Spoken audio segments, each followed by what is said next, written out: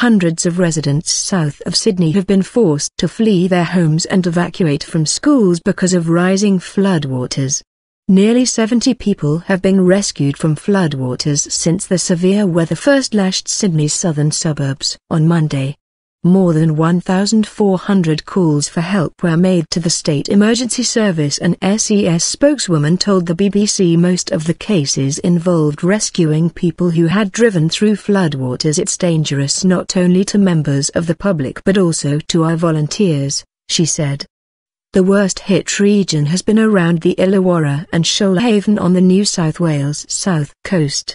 A number of animals, including horses, cattle, and alpaca were also rescued.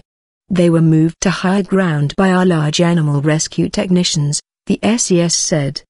25 people were evacuated on Tuesday around the Kiama region, about 120 kilometers south of Sydney, amid fears the walls of a small dam would collapse. Authorities have now assessed the Jerrara Dam as safe and have told residents they can return to their homes.